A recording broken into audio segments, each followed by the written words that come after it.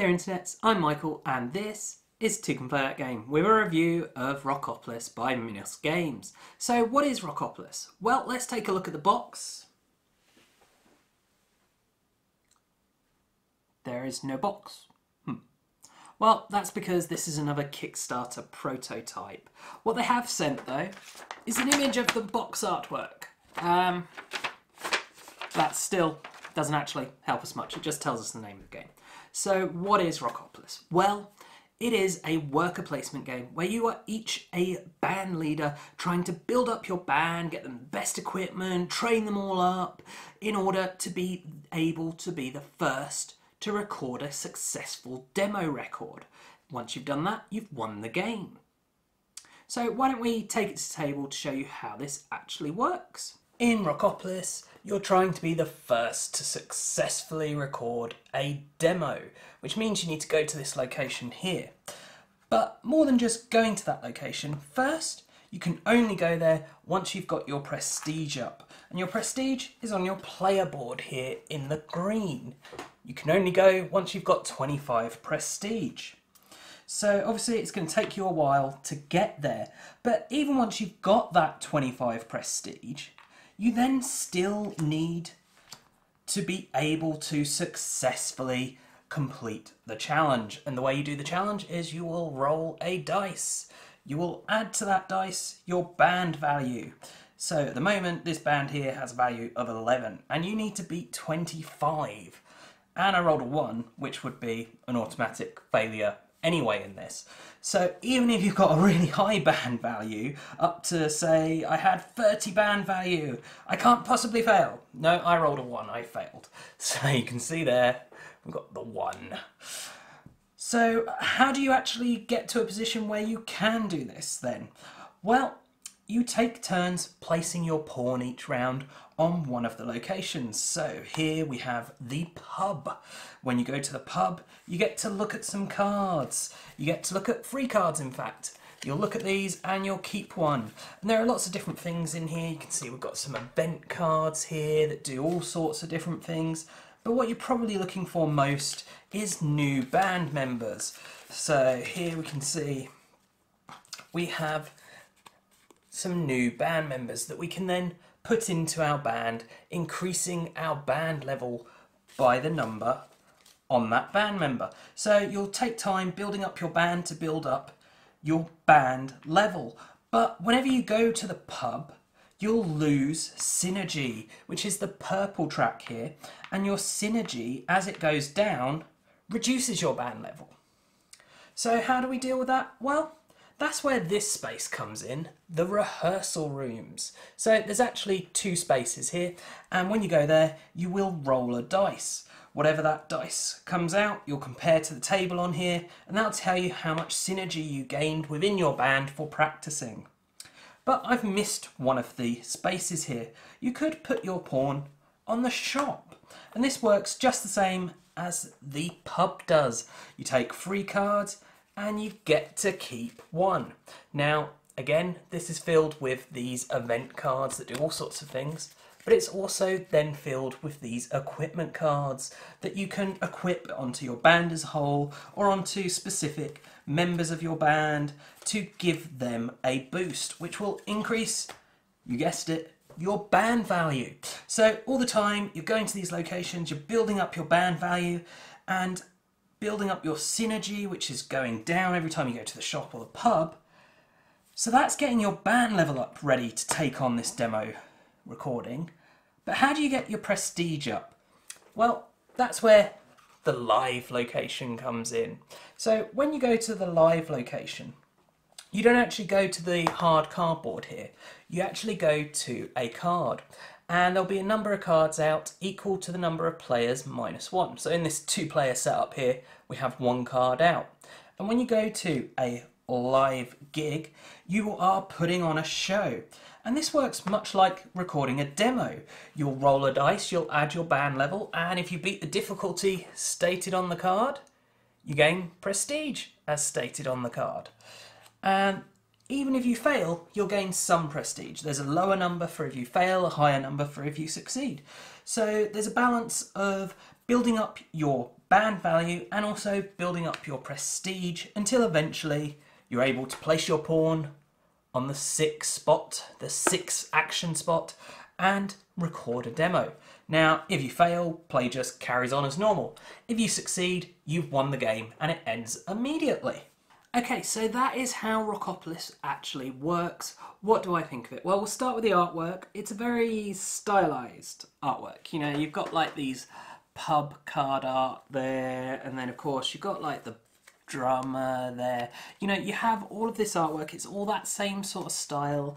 It is very much stylized, and I'm not keen on it. It's not that it's bad exactly. It's just very much this cartoon style. It reminds me of the sort of thing you get in newspapers back in the 80s in the UK. Um, yeah, not overly keen on it. It doesn't really do it for me. And then graphic design wise, you've got these player boards. They're hideous. Um, just all these colours that just don't feel like they work very well together. Functionally, it does an okay job, although it feels like these tracks need to be managed some way better because the current system of using these temporary pawns, they slide around, they get knocked around, doesn't work ideally. But that brings us to components really, and these aren't the final components, so I can't really comment on that. As I say, artwork not to my taste, though. What about the gameplay? What do I think of this game? Well, it's a worker placement game where you only ever have one worker. There's no way to gain any other workers. And it's extremely light because of that. You, you've always got the same number of spaces available, but you've only got one worker. So, yes, you've got to decide each term where you're going to place that worker, but there really aren't that many options. I mean, you can rule out the demo recording until you're ready to do that, and that just leaves you with these five. And if you're doing a two player game, the rehearsal room's okay is two, but the live is still only one. So yeah, that's five options. Um, if you go more players, you've got slightly more options because you end up with more live record live shows going on that you could partake in, or live venues, I suppose you're choosing. But yeah, that's not a lot of options. It's not a lot of choice. And you don't really get a lot of blocking going on. You know, they might block the pub so you go to the shop. The shop and the pub are blocked, so you rehearse. And you're never going to have all the rehearsal rooms, the shop and the pub blocked. So you're never really going to think, oh, there's nothing useful I can do. And the most useful things is always the pub and the shop. And so it tends to play that every round the shop goes or the pub goes and then the shop goes or the pub goes afterwards. You know, it's always those two. That is until about mid-game. Once everyone has got their band built up and, you know, they're geared up, they're ready to go, they're rocked, you know, they've got their prestige low, but their band value is up there. Then the game suddenly twists, rather than it just being everyone going to the shop and the pub and rehearsing. Suddenly, everyone's just rehearsing and going live shows but it's still it's that same there's no real feel for oh i'm blocked from that. There's that's the only thing i needed to do. I needed to do that to build up my tableau. You don't really get that feeling. It's just oh that one's blocked. Well i can go do this one. Which is good if you want that lighter game.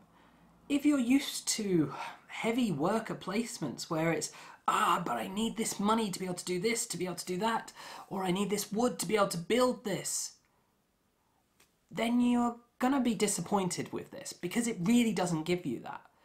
It is just, well, this round I get to go to the shop. This round I get to go to the pub. Uh, well, they're out of the round this time while I rehearse.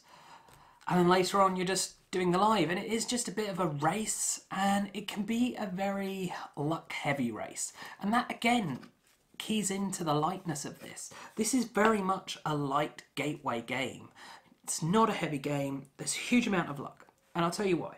Firstly, you've got the luck when you go to the pub.